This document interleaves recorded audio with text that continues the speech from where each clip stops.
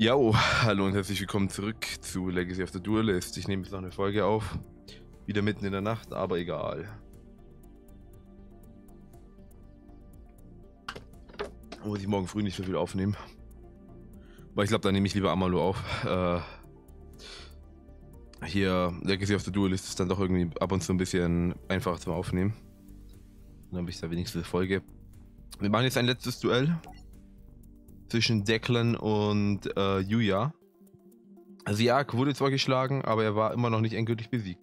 Er würde auferstehen und Chaos anrichten, es sei denn, nachdem Riley Rays Geist aus ihrem Körper verdrängt hat, absorbierte sie stattdessen den Geist von Siak, um ihn zu versiegeln, und Yuya wurde von der Kontrolle durch Siak befreit. Hat sie nicht einmal gelächelt oder gelacht. Ja, wenn die Finsternis von Siak stärker wird, dann wird er zurückkehren. Nicht wir, du. Ja, Julia, das Schicksal der Welt. Riley. Riley zum Lächeln bringen.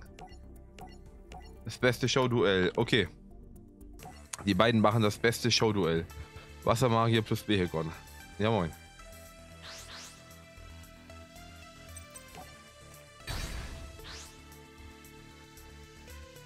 Oh, ich kann auswählen. Ah, komm, ich gehe Second. Wenn er verpeilt, dass er, äh, dass er es gewonnen hat. So, mal gucken, was Declan so alles aus seinem Anus zieht. Künstlerkumpel buntäugiger Auflöser. Ja, moin. Ähm, ja, die ganzen Künstlerkumpel, die ich sonst so hab, sind halt irgendwie gerade mega lost. Ähm, du kannst einen Pendelbereich dieser Karte um 1 erhöhen, maximal 12. Okay. Du kannst eine Drachenfusionswasser, Fusionsbeschwörung von deinem Extra-Deck. Verwende dafür Monster in deiner Hand oder dein Spielfeld. Oh, nice. Jetzt setze ich mal in die Pendelzone. Ähm. Ah, ich habe nur den Hungergift. Okay, zwei Finsternismonster. Ich habe aber keine Finsternismonster, außer ihn. Hier gut. Alle Pendelmonster, die du kontrollierst, erhalten 300 ATK. Der ist 4. Ach, damit.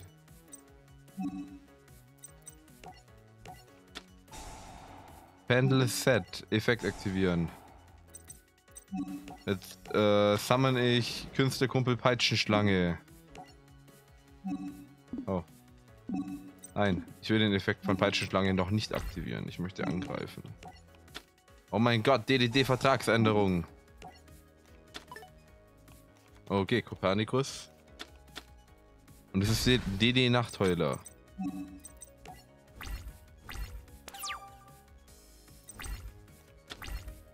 Die Peitschenschlange sieht eigentlich sehr lustig aus.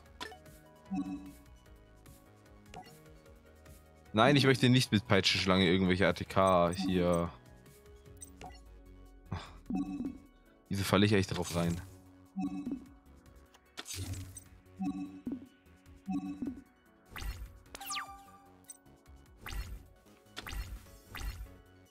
Oh, Top der Reichtümer. Mische drei Pendelmonster auf einem Friedhof äh, offen von deinem extra Deck ins Deck, dann zieh zwei Karten. Okay.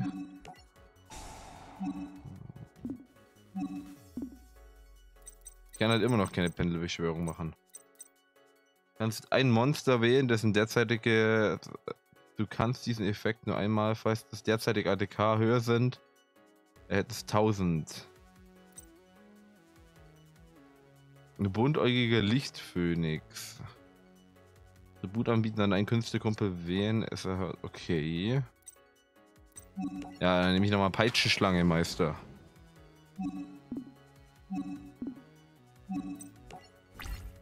Erstmal gehen wir in Angriff, ja. DDD, äh, DD Nekroschleim.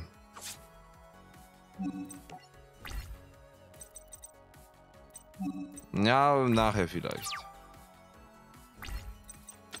Nachher vielleicht. Äh, zwei Monster sind halt aktuell besser als ein. Dickes Exis-Monster. Künstler, äh, Künstlerkumpel Gong, äh, Gongatze. Ah, okay. Ähm, du kannst diesen Effekt aktivieren, dann erhältst du. Okay, das ist ein bisschen wack. Aber ich aktiviere jetzt den Effekt. Dann mache ich jetzt erstmal eine Pendelbeschwörung.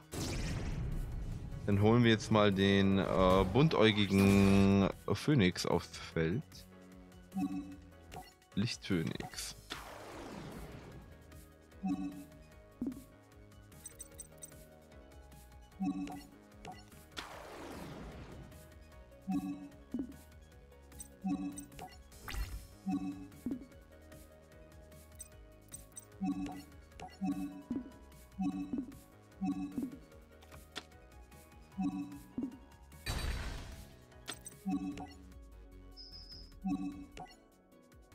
Oh.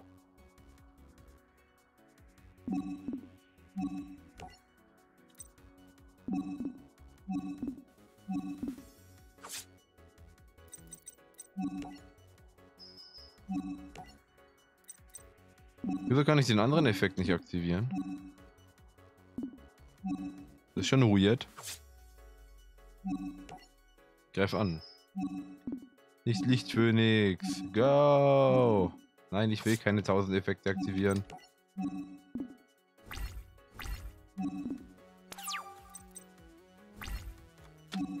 Der Trompanda.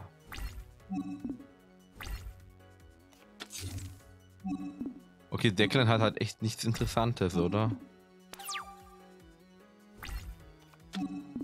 Fusion, ja. Dafür, dass mir Fusion halt echt nichts bringt.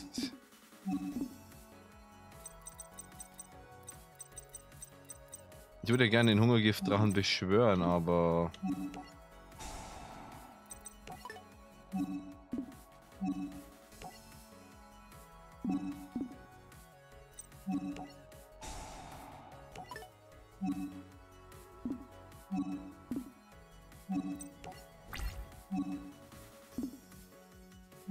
Kommt hier Maulwurf mit 2000 Angriffspunkten.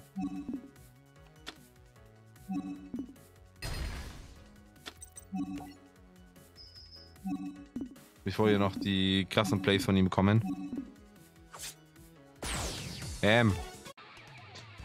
Nach einem unglaublich unterhaltsamen Duell brach die Menge in Jubel aus. Eine Stimme stach besonders aus dem Jubel hervor. Riley. Riley lacht. Als Profi auf. Und Susu ist auch herausgekommen. Yeah. Ein herbeigependeltes Wunder. Julia hatte sein Ziel, professioneller Duellant zu werden, erreicht, aber auf ihn wartete nur noch ein weiteres Duell. Tja, deine Reise hat gerade erst begonnen, mein Sohn. Wow, Dad. Ein Profi-Duell-Trainer muss jedes neue Duell als Herausforderung ansehen, Julia. Bist du bereit, deine Show-Duelle noch weiter zu verbessern? Darauf kannst du wetten. Zeit für Action. Und ich schwing mich in die Action.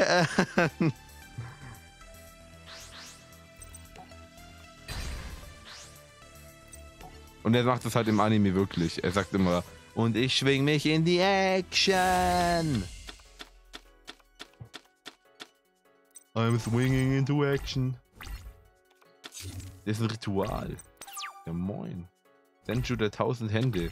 Wieso spielt Yuya hier so ein weirdes Deck? Rundäugiger Arc-Pendeldrache. Der Stufe 7, ja moin.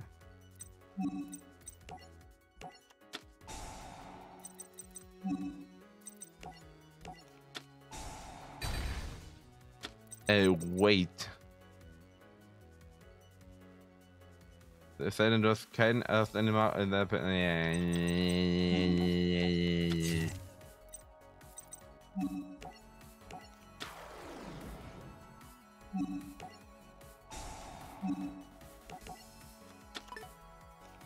Natürlich.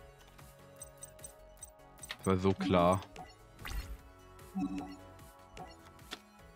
Okay, ist der Kumpel Himmelsschüler.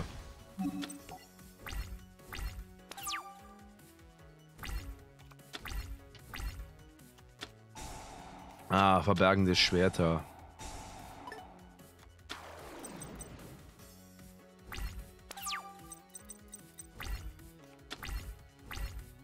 Oh, buntäugiger äh, Säbeldrache. Befinde, du kannst ein Lichtmonster als Tribut anbieten. Lege ein von deiner Hand deinem Deck oder auf dem Friedhof als. Oh, nice.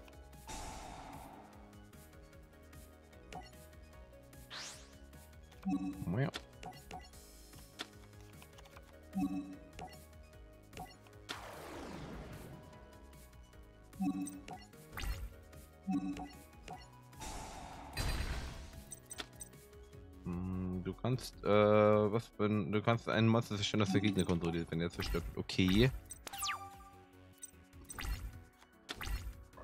So, ich gehört, das ist akzeptabel.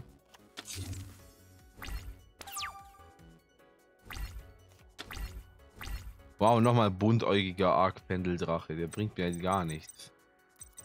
Nicht zwei äh, Pendelmonster.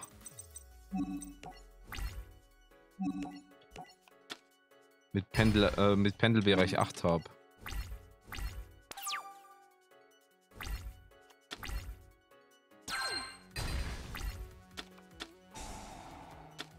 Oide. Was wird das, wenn es fertig ist, ja? Vor allem, der ist halt auch kein Pendelmonster. Ich will den halt weghaben. Ich kann auch nichts machen.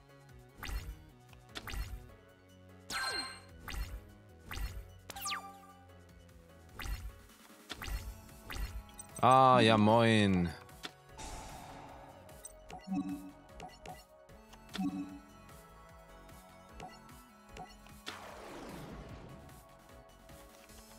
Buntäugiger Schwerkraftdrache. Ja.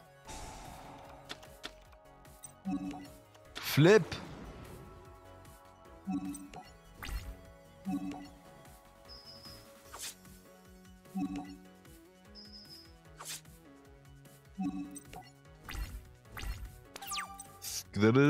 Skrit.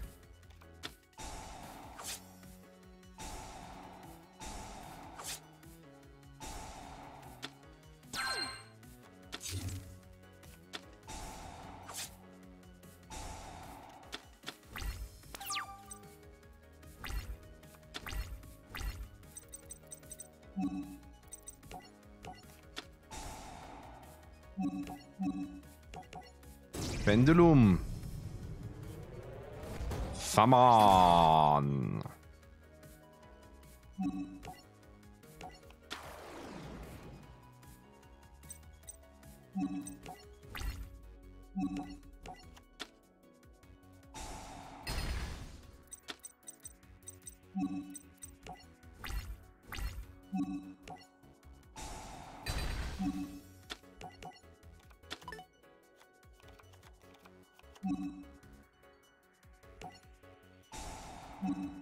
Oh. Der sucht mir jetzt was raus. Aufs Spielfeld. Ja moin. Ich liebe den anderen genommen. Aber die Animation, die muss, müssen wir halt noch haben. Das ist ganz wichtig. Der Yusho, der, der ist hier schon ein bisschen, ein bisschen wack. Okay, ich nehme alles zurück. Bescheid ist was für zwischen 3 und 6. Oh. Pendelzauber und akrobatischer Magier. Ciao. Oh, cool. Und er tributiert. Jetzt der Kumpel Himmelsmagier.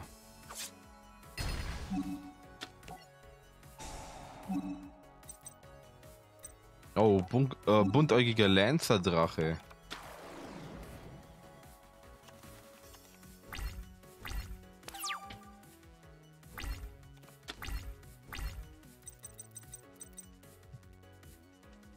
Weiß, diese Karte äh, liegt in unser Stack. Ähm, deiner Hand, du kannst ein buntäugiger Monster 7 oder höher wählen, das verlängern sechs Stufen um 3. Beschwöre diese Karte als Spezialbeschwörung.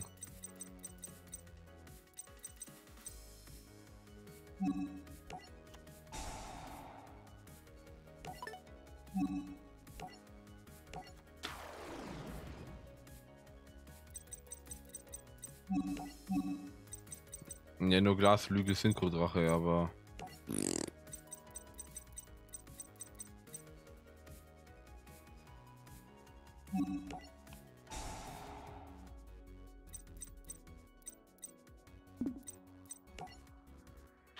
Ja gut, dann opfer ich halt einfach den. Leg den buntäugigen Dra äh, den buntäugigen Drachen einfach auf den Friedhof.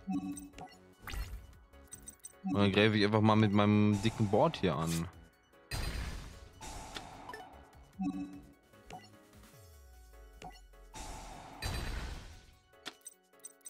What?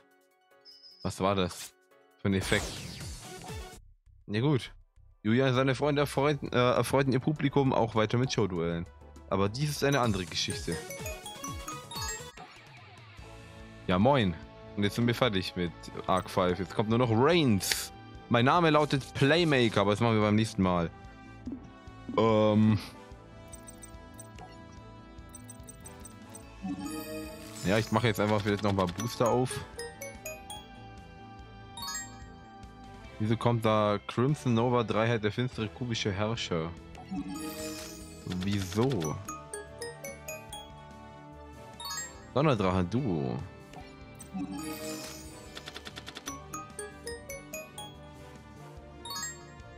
Also wahrscheinlich wegen dem Film. Äh, oder hole ich mir von hier. Komm, ich mache ein paar, paar von Yuya äh, seinen Decks, äh, von seinen Packs auf. Metaphysischer bewaffneter Drache. Der ist aber irgendwie ein bisschen falsch. So ist den falschen Pack. Ja, ähm, was ich noch sagen wollte. Ich werde nach, äh, wenn wir mit Reigns fertig sind, werde ich kein Legacy of the Duelist mehr spielen. Zumindest nicht hier direkt auf dem Kanal, wenn dann vielleicht hier und da mal auf Twitch so.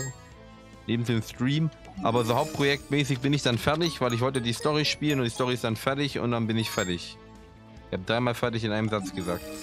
Äh, oder viermal. Und ja. Mehr gibt es da, glaube ich, mal nicht so, äh, nicht so zu sagen, denke ich mal. Und danach kommt halt was anderes. Ich denke mal, ich spiele dann Vampire Stone 3. Auf dem einen Slot und auf dem anderen Slot spiele ich dann ähm, auf dem Amalur gerade noch läuft, spiele ich dann Divinity 2, den Developers Cut. Rettungshamster. Oberster König, Drache, finstere Rebellion.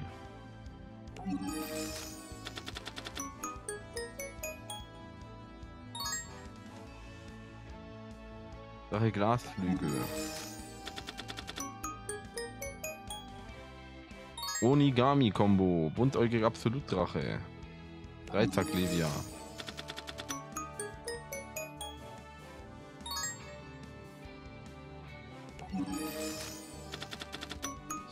Und ja, das ist so mein momentaner Gedanke.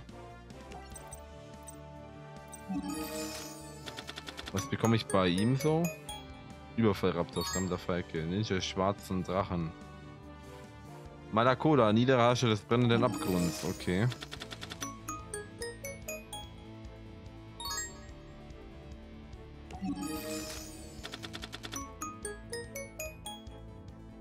Zodiac Eberbogen.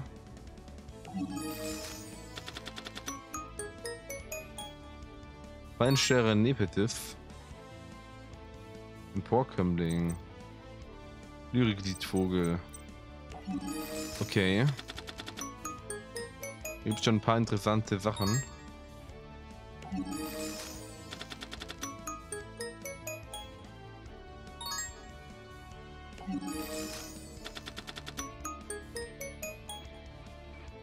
Ich werde hier und da vielleicht noch ein paar Decks zusammenbauen. Oh, ich habe mir von Susu eine Menge geholt. Ah, jetzt weiß ich aber auch wieder warum.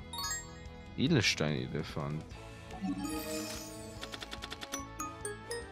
Weil hier noch die anderen Sachen drin waren.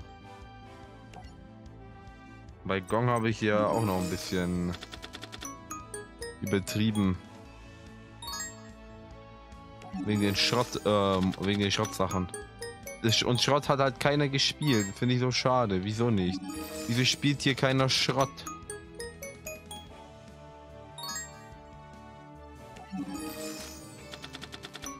Das ist auch ein cooler Archetype.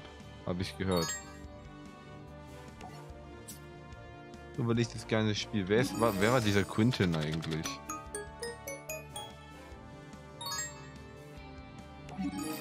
Der kam jetzt, glaube ich, mal nicht so oft vor. Der war irgendwie In der ersten Staffel oder so, aber der später, also bei Kite und bei, äh, bei Shark kann ich mir, weiß, kann ich schon verstehen, aber Quinton ist noch in der ersten Staffel vorgekommen, danach gefühlt gar nicht mehr. Wieso gibt es von dem dann einen Booster? Genauso wie von diesem komischen Mädchen da. Da hätten sie jemand Besseres reinpacken können.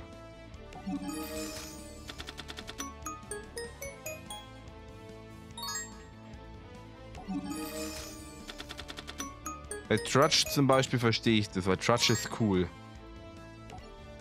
Also Trudge, Leo und Luna, die kennt die Leute hier kennt man alle. Aber die ist random, der ist random, der ist okay, der ist okay und äh, Yuma, klar. Und hier ist halt auch wieder so. Gong, klar. Suzu, klar. Shay, da hätte man auch jemand anderes reintun können. Declan ist klar und Yuya absolut. Hier, okay, Alexis, Bastion, Chess auf jeden Fall, Cyrus, Jesse, mh, mm, man hätte auch eigentlich eventuell Bastion weglassen können und Zane reintun. Aber da hätte man auch, könnte man auch sagen, dass man auch Cyrus einfach mit Zane ersetzt und der halt einfach die Royd-Karten dann mit ausscheißt. Äh, ja. Wieso er halt auch Volkians hat, das ist auch ganz anders wild.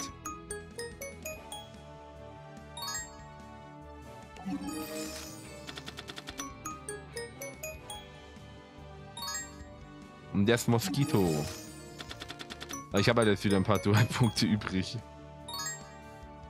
Und Cyber-Enddrache, den wir schon zum tausendsten Mal haben. Oh, Cyberdrache Herz, nice. Der ist halt in Paper schon ein, ein, äh, schon ein einiges wert, oder zumindest teuer. Einer der Gründe, weshalb ich die Karte nicht spiele. Was mich halt ein bisschen schlechter macht, aber Gut, gegen Tobi.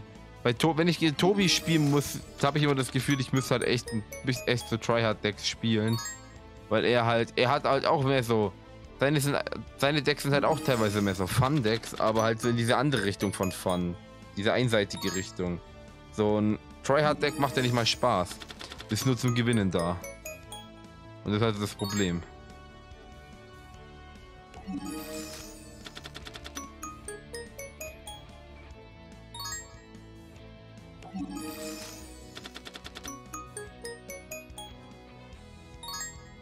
Wurm Tentacles, Wurm Zero, alles klar. Auch wieder so ein Archetype, das irgendwie keiner gespielt hat im Anime.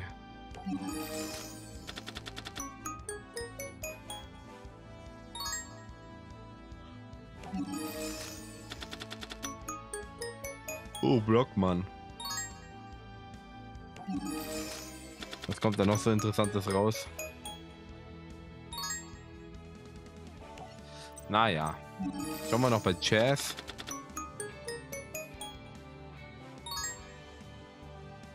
Das unglückliche Mädchen. Es müsste immer eine Karte drin sein, die man, äh, die ich noch nicht habe. Die eine Pendelkarte, glaube ich mal zum Beispiel.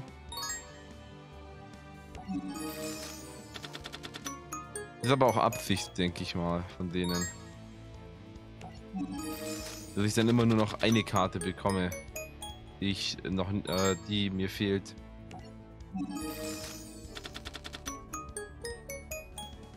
Weil man muss ja das äh, Spiel weiterspielen. Ich brauche ja wahrscheinlich noch 42 Packs dafür.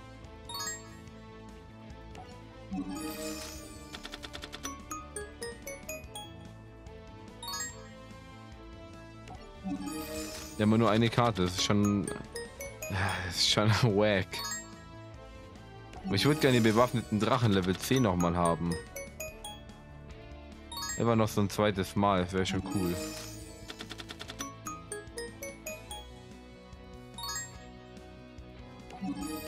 Der OG-Drache, der ist, der ist halt gar nicht schlecht. Wird nice Effekt. Und bewaffneter Drache Level 3, aber den, den Donner hätte ich gerne. Aber die gibt's hier nicht. Die sind noch zu neu, die Karten.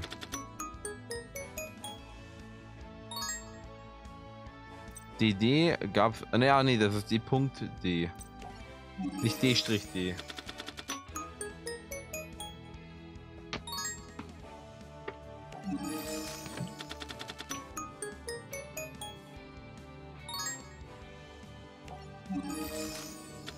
komm, mach noch zwei Packs auf. Mal gucken, was dann so rauskommt.